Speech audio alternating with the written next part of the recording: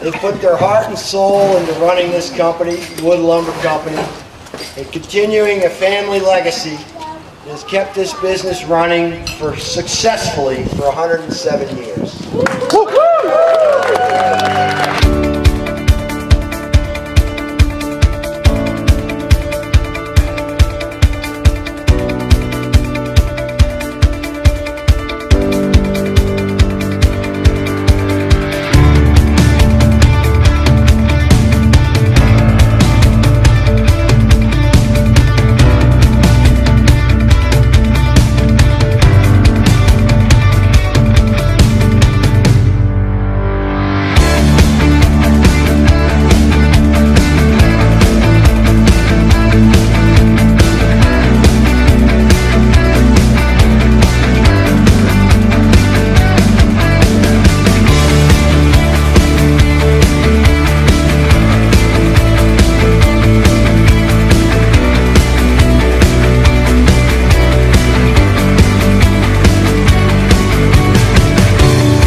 I noticed, I my, probably a few members of my staff getting a little nervous seeing me with a microphone up here.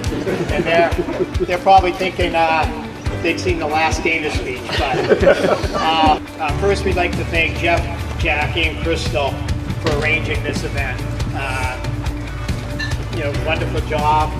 It's great turnout, great to see customers, vendors, and our staff, and it's just great to see everybody out here.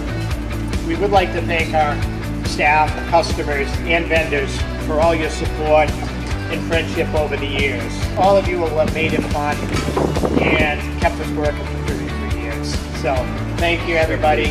And I think it is my shortest speech ever. Uh, and thank you and enjoy from Eileen and me.